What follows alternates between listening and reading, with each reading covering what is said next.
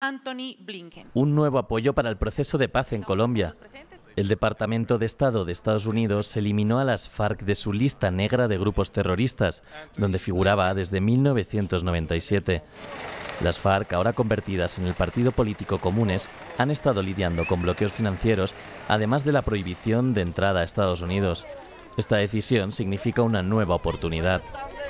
Es la posibilidad de que el proceso de reincorporación socioeconómica y política pueda eh, avanzar en mejores condiciones. El beneplácito de Estados Unidos llega una semana después del quinto aniversario de la firma de paz, cuando el secretario general de la ONU, Antonio Guterres, visitó Colombia. A un mundo de divisiones geopolíticas, guerras interminables y multiplicación de conflictos, Colombia envía hoy un mensaje claro. Es hora de investir en la paz.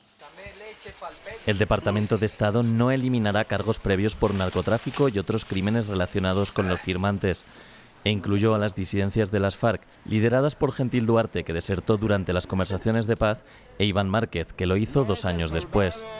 Este último cuestionó los acuerdos el lunes para medios locales. El Estado violó el principio de toda negociación. Queremos un gobierno que se la juegue toda por la paz completa.